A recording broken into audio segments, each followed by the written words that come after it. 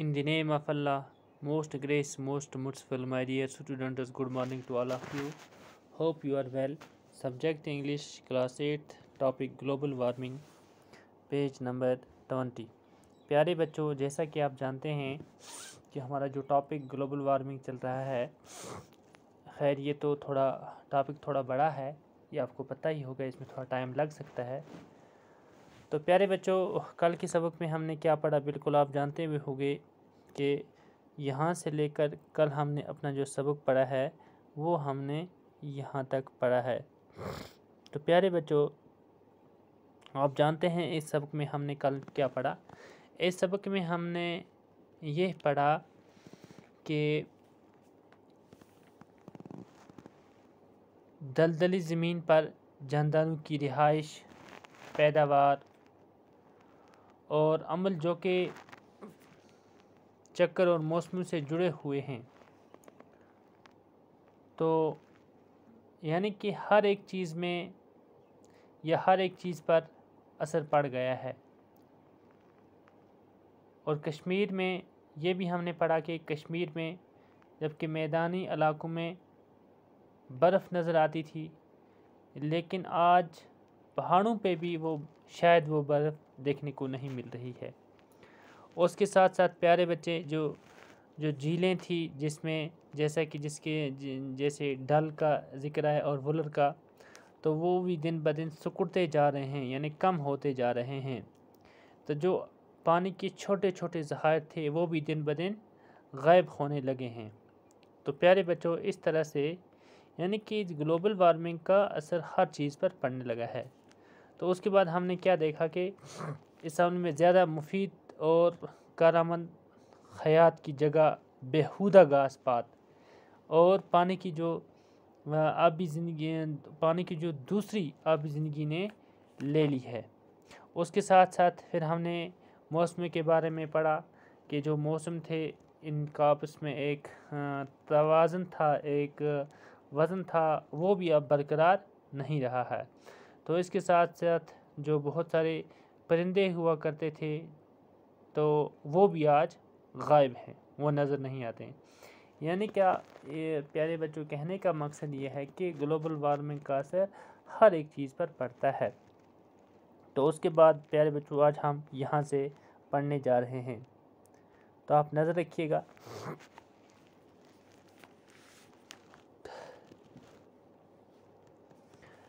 Rapid melting of Kolhai glacier one of the largest glaciers of the Kashmir Himalayas has evoked concern among environmentalists who stress for immediate measures to at least minimize its melting rate.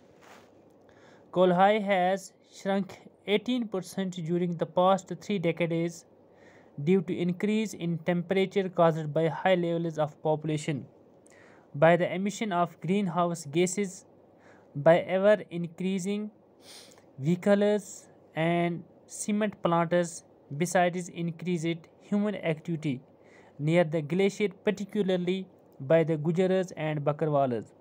Scientific increase in the hum in the number of pilgrims and tourists in the eco sensitive region around the Amarnath shrine is also a reason for melting of the glacier. प्यारे बच्चों rapid melting of the Kolhai glacier one of the largest glaciers of the Kashmir Himalayas has evoked concern among environmentalists. Kashmir के हमाली पहाड़ों के सबसे बड़े glacier में से एक कोल्हाई ग्लेशियर के तेज़ी से पिघलने पिघलने ने माहरीन माहौलियात में तशवीश पैदा कर कर दी है। यानी कि जो मौसम के माहरीन हैं या माहरीन जो होते हैं माहौलियात के तो उनमें एक तशवीश पैदा हो गई है। Who stress for immediate measures to at least minimize its melting rate. जो इसके पिघलने की शरह को कम करने की फौरी इकदाम पर ज़ोर देते हैं वो चाहते हैं कि इसका जो तेज़ी से पिघलना शुरू हो गया है तो इस पे रोक लगनी चाहिए उसके बाद प्यारे बच्चों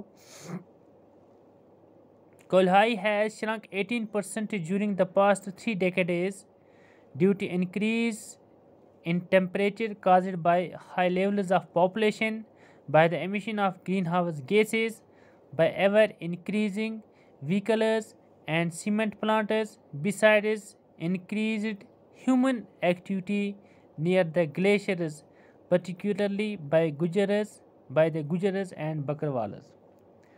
तो तीन दहाइयों में कोल्हाई ग्लेशियर जो है दर्जा हरात के बढ़ने के सबब, बढ़ने की वजह से 18 परसेंट पिघल गया है। कितने परसेंट? कोल्हाई है shrunk 18 percent during the past three decades due to increase in temperature तो टेम्परेचर बढ़ने की वजह से कितने परसेंट? 18 परसेंट ये पिघल गया है। जिसकी वजह लगातार बढ़ती हुई, उसके बाद फिर काज बाई किन किन चीज़ों से?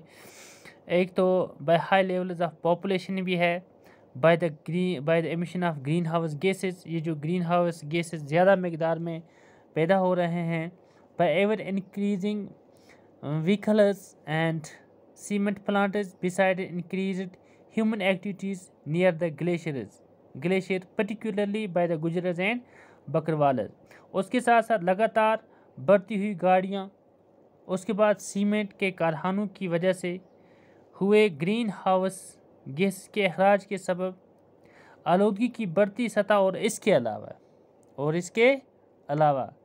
तो उसके अलावा क्या है? ग्लेशियर के नज़दीक बढ़ती हुई इंसानी सरगर्मियाँ ख़ास कर गुजरों और बकरवालों की। क्योंकि जो गुजर बकरवाल होते हैं, ये ज़्यादा पहाड़ों के नज़दीक रहने को पसंद करते हैं। क्योंकि इनके माल मवेशी होते हैं, इनकी बकरियाँ होती हैं तो इनको वहाँ चारा अच्छी तरह से मिलता है। इसलिए ये ज़्यादा पसंद करते हैं कि ये पहाड़ों के नज़दीक रहते हैं। तो इनकी वजह से भी ये जो ये ग्लेशियर हैं, ये ज़्यादा जल्दी जल्दी पिघलते हैं। Scientific increase in the number of the pilgrims and tourists in the eco sensitive region the Amarnath shrine is also a reason for melting of the glacier उसके बाद, प्यारे बच्चों, हसास माहौलियाती इलाके में अमरनाथ गुफा के इर्द गिर्द यात्रियों और सयाहों की तादाद में ख़ास इजाफा भी इस ग्लेशियर के पिघलने की एक वजह है।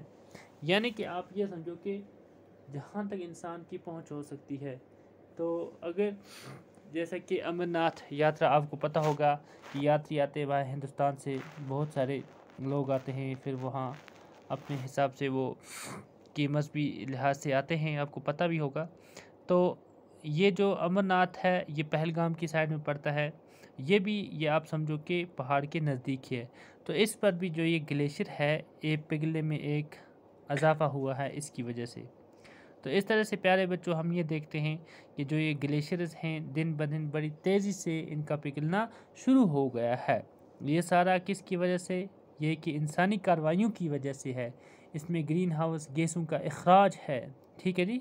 जितने मैंने पहले भी आपको कहा, जितने लोग बढ़ेंगे, इतनी ही आलूदगी बढ़ेगी। जितनी आलूदगी बढ़ेगी और ये सारे का सारा असर किस पे पड़ेगा? माहौल पे पड़ेगा। तो फिर माहौल कुदरती ही बदल जाएगा। तो इसलिए प्यारे बच्चों, हमें चाहिए कि जितना हमसे हो सके, हम अपने माहौल को साफ़ और सुथरा रखने की कोशिश करें। उसके बाद प्यारे बच्चों, अगर आपको कोई, जैसे कि वर्ड ऐसा कोई आया है। बहुत सारे ऐसे वर्ड आए जो आपको मुझे लगता है शायद इसकी समझ नहीं आए होंगे। इसमें एक वर्ड हमें पड़ा एवोक ई वी ओ के एवोक हो गया पैदा करना, ठीक?